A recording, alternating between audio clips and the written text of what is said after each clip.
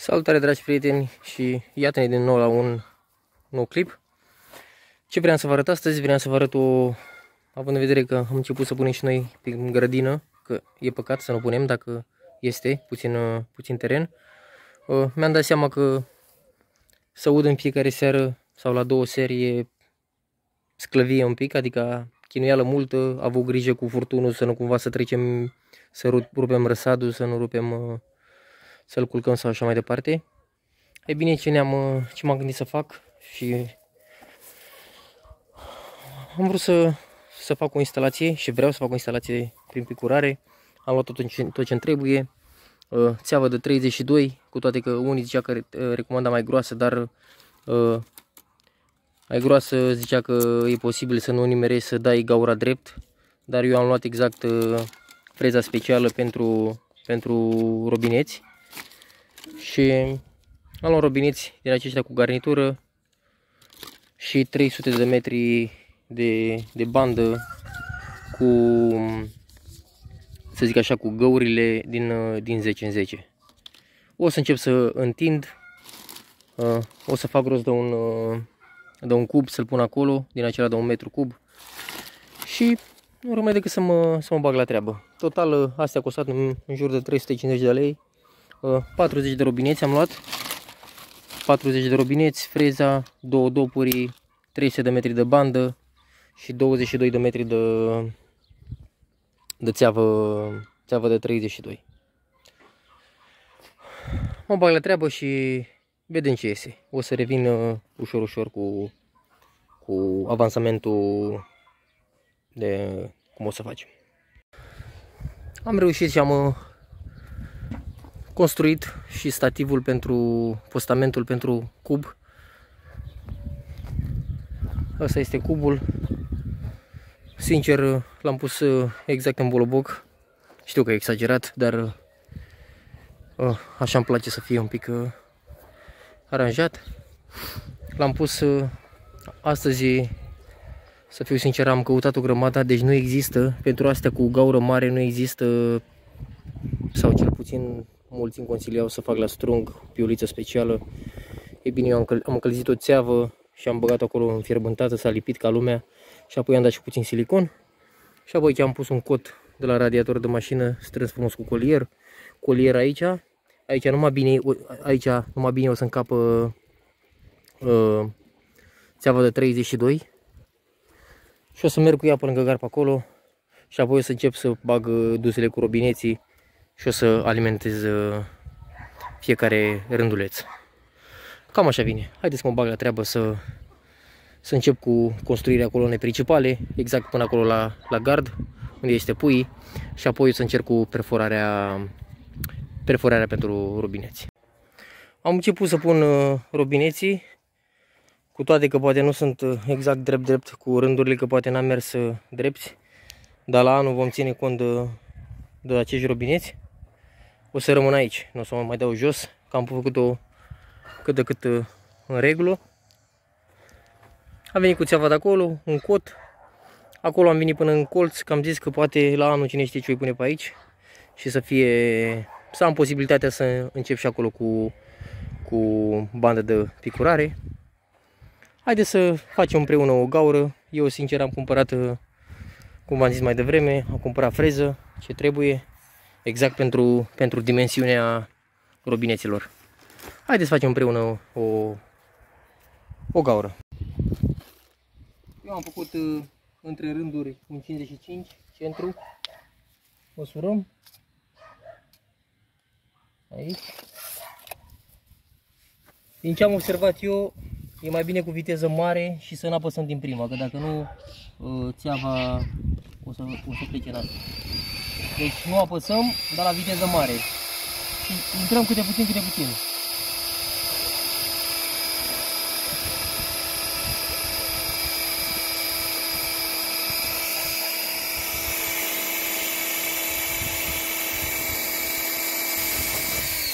Uitați, o gaură perfectă.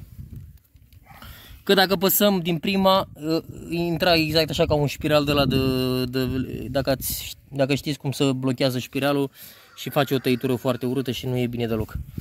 Și după aia băgăm, ă, N-am găsit din aceea care să strâng, dar uh, sunt buni și aceștia, deci prima oară băgăm garnitura. Ok. Și apoi băgăm, uh, băgăm ăsta. Robinetul și gata. E făcut. Aici o să vină uh, banda de picurare și apoi să strânge asta peste ea și am rezolvat-o. Cam asta e. Mă bag să-i termin pe toți și apoi revin cu continuare. Am reușit și am făcut toate, toate găurile pentru robineți.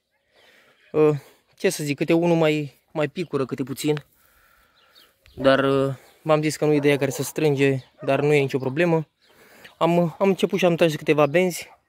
Vreau să vă arăt și vouă. Acum nu știu cum e corect. E prima oară când fac acest lucru. Eu am pus-o cu banda în sus, cu picătura în sus. Am considerat că dacă ar sta cu banda în jos, probabil uh, să nu existe riscul să se înfunde sau ceva. Acum robiniții sunt închiși, mai iese puțină apă, doar de probă, uh, ce mai are puțin pățeavă. Uh, ce am, ce am făcut, probabil dacă vedeți că benzile nu sunt drepte, pentru că acum am mers după rânduri, dar eu am, am respectat acolo din 55 în 55 pentru că intenționez ca la anul să rămână acolo acel, acel furtun, acel, acea coloană și după aia o să întind o sfoară și voi merge drept. N-am vrut să stric, să stric țeava și să le fac exact după rândurile. Rândurile nu sunt toate precis la aceeași dimensiune și uh, n-am uh, n-am vrut să le stric pur și simplu. O să curbez acolo puțin, nu e nicio problemă. Important că uh, își face treaba. Haideți să vă arăt exact cum, uh, cum, uh, cum procedez eu. Deci, în primul, în primul rând, ne orientăm să fim drept cu, cu, cu rândul nostru, batem, uh, batem șipca, pentru că acestea trebuie să stea, să stea foarte întinse. Eu mi-am făcut niște bucăți de șipci la 30 de centimetri. Haideți că mergem acolo să vedem cum, cum facem legătura. Procedeul este foarte simplu. Trebuie să avem uh, robinetul cum ar veni închis la maxim, închis adică spre, rob, spre, spre robinet, robinetul, această piuliță, deci nu deschis așa, strânsă la maxim. Punem, uh, punem banda, o punem, eu o pui cu, cu găurile în sus și o băgăm exact cât intră. Apoi strângem, uh, strângem piulița Și cam mai e. Adică nu trebuie, nu necesită, nu necesită multă forță. Apoi luăm, luăm solul frumos și îl întindem.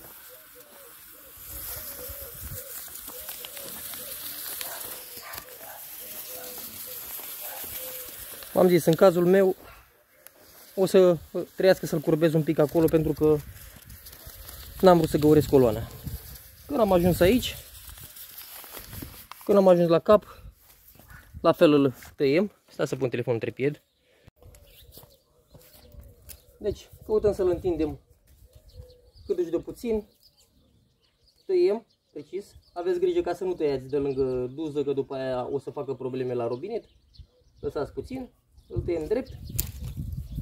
Am văzut că sunt și dopuri speciale, dar dacă nu avem dopuri, putem să-i facem un nod.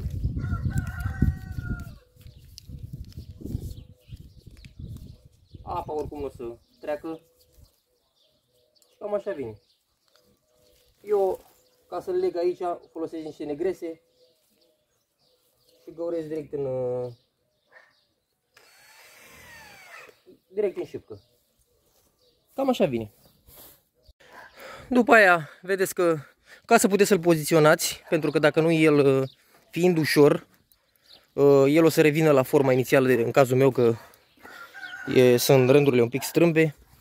Uh, deschidem uh, robinetul, automat el începe să se umple cu apă și acum noi îl poziționăm. Fiind uh, greu cu apă pe el, îl poziționăm lângă plante și el acolo să rămână. Deci nu să mai, nu să mai miște. Uitați. El nu o să se mai miște, fiind greutate în el și apoi când când se ușurează, pentru că când închideți, când închideți sistemul, el o să rămână acolo, nu o să se mai miște. Uitați cum vine. Cam așa vine. V-am zis, sunt puțin strâmbe, dar nu prea mă interesează deocamdată. Important că își face treaba și udă, udă plantele. Deja, după cum vedeți, sistemul a plecat. Eu nu o să las să ude acum pentru că este cald, o să-l o să dau drumul de seară. Cum consiliază toți, e bine să-l udați, să-l umpleți cu o zi înainte, ca el să, ca el să să nu fie apa foarte rece. Adică îl umplesc cu o zi înainte, el o să stea la soare și apa nu e foarte rece pentru că plantele o să sufere dacă, dacă apa este rece. Acum închidem robinetul la loc și cam asta e. Mă bag la treabă să le fac pe toate și revin direct cu, cu finalul ca să nu lungim acest clip. Este în jur de ora 12, vreau să vă arăt cum am ajuns. Uh, nu e o bătaie din palme, care a mai făcut asta, știe despre ce vorbesc. Să fiu sincer, uh, credeam și eu că e mai ușor, dar totuși uh, nu e chiar așa de ușor. V-am zis mai devreme că e prima oară când fac uh, această instalație.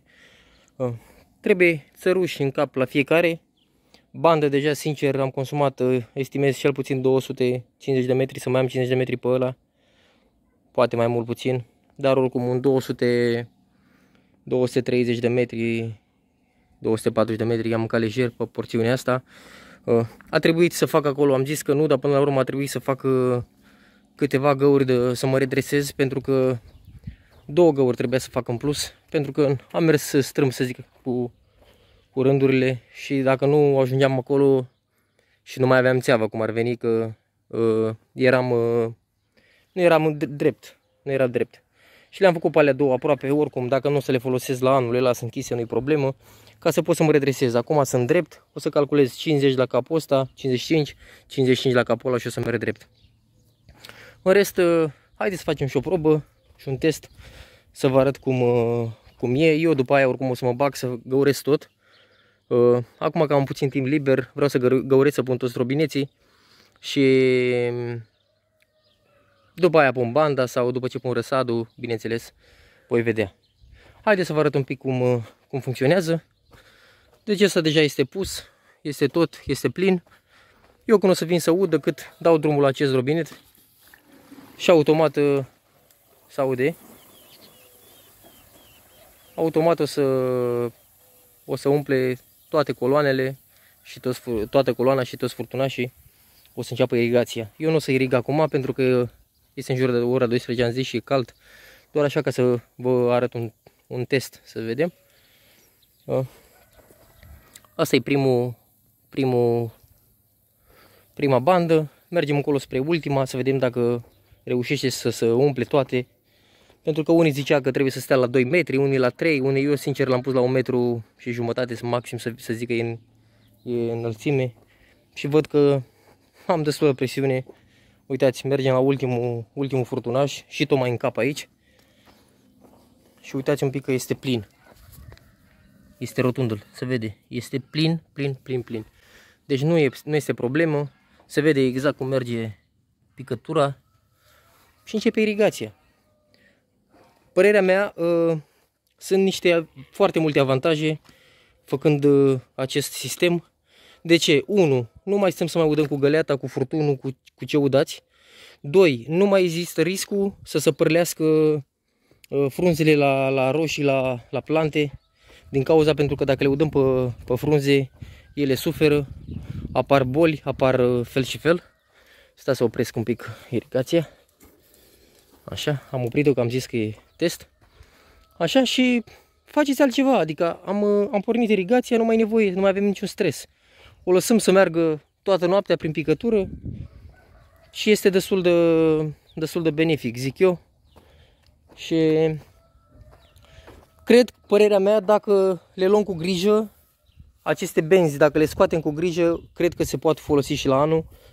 Uh, nu știu sigur, uh, doar estimez, părerea mea.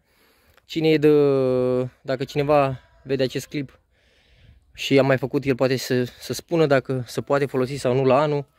Uh, țărușii batem la loc cum erau, începem drept și bănuiesc că dacă distanța e aceea și am grijă de ea, probabil o voi putea folosi și la anul.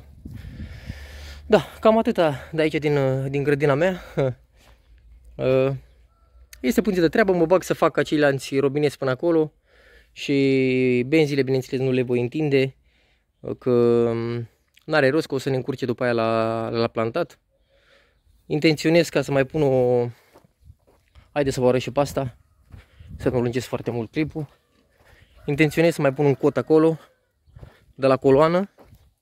Deci de la coloana principală să mai pun un cot, să vin exact cu el până aici și de aici să încep iar să, să pun prin picătură și toată zona asta. Deci coloana aia de acolo o să comande toată zona asta de aici și coloana care vine de aici o să-mi comande toată zona asta. Am uh, terminat de completat toți robineții. Vă acest aminte că rămăsesem acolo, i-am pus pe toți la fel din 55 în 55. Astea le-am pus deocamdată provizorii pentru că nu am mai avut bandă, am zis să irige acest uh, leuștean. Am plecat cu cu coloana iar principală. M-am dus, uh, m-am dus încolo. La fel aici o să înțep pentru mazărea asta peste tot, pentru tot. Uh, aici la fel nu am pus pentru că nu știu deocamdată, aparte că aici e fasole și rândurile sunt invers. Uh, astea le-am înțepat la fel din 55 Sunt castraveți aici, cu toate că pe viitor, la anul, cam, să zic așa, distanța între rânduri, cam orice s-ar pune, cam asta e media. Așa? Doar zona aceasta, având în vedere că și toți anii cred că vom pune, vom schimba numai aici, ceapă, uh, salată, ridichi, spanac, uh, plus minus uh, distanța e cam aceeași, 25 de centimetri între ele și deja am pus toți robineții între 25. Urmează decât să cumpăr banda și să încep să-i dau drumul și să, să, să alimentez tot.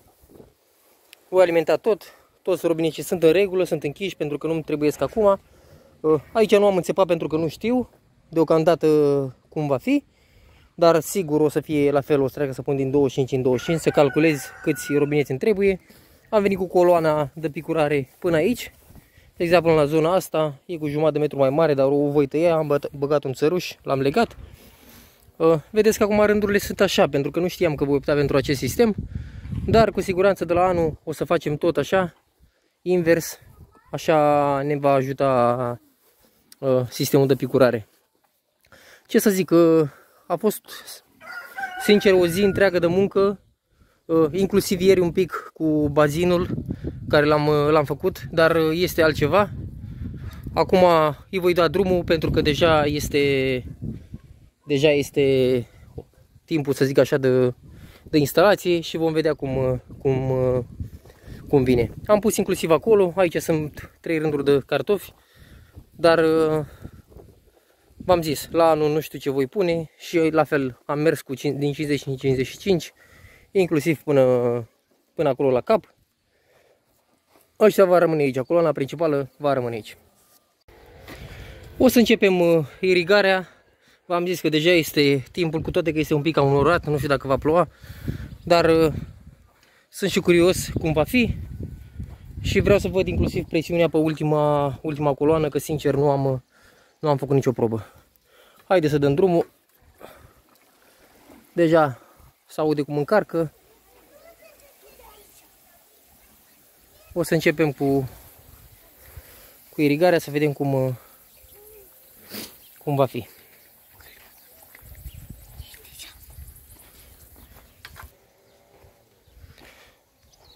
Văd că își face treaba. Asta nu știu ce are. Uite așa. Toate se umflă.